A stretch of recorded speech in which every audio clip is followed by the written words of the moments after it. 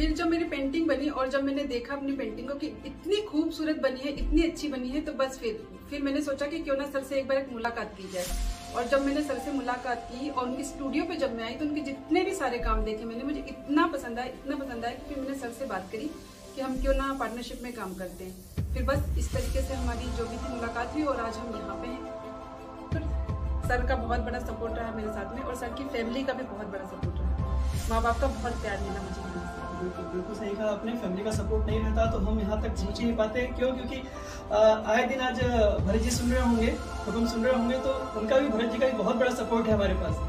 और क्योंकि जहाँ हमने सोचा था शायद उनको लगे कि इंटरेस्ट है नहीं लेकिन उन्होंने आगे बढ़ के इतना अच्छा इंटरेस्ट लिया और हम लोगों को आगे बढ़ाया। सबसे बड़ा सपोर्ट ही उनका है। तो हम इतने आगे बढ़ रहे हैं और वो देख रहे होंगे कहीं ना कहीं हमें देखेंगे। पर सच में अगर वो ना होते तो हम दोनों भी यहाँ नहीं होते। परिवार का